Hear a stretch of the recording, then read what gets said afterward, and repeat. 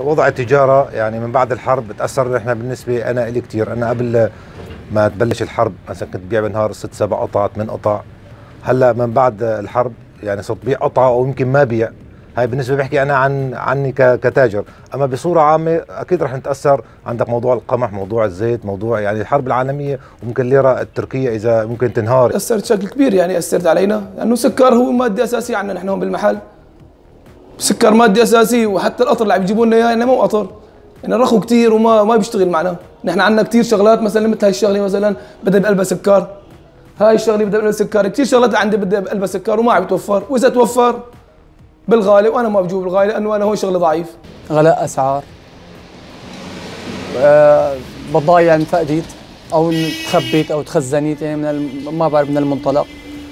إيه، وفي السكر نطع الزيت السمني غليت المواد الثانية في غلاء مثلا بضاعة المشروبات شوي غليت كمان.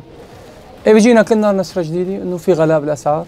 أثرت على الزيت والسمنه بشكل عام. طرد الزيت الواحد ارتفع علينا أكثر من 11 دولار 12 دولار. سمني ما في زيت ما في. الطحين 150 دولار ارتفع الطرد الواحد علينا الطون الواحد. آه، أنا كبائع خضره عم ترتفع الأسعار يوم على يوم. الإقبال صار ضعيف.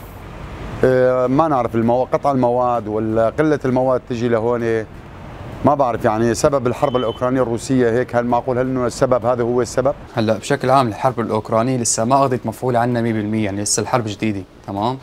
بس بقى الحركة هي ضعيفة من قبل وهلأ قويت شوي زيادة عرفت شلون؟ ونحن خايفين ما تمتد الحرب يعني ويصير نقص مواد زيادة أكثر من اللي صاير هلأ. اليوم الحركة ضعيفة بشكل عام إجت علينا شتوية صعبة شوي.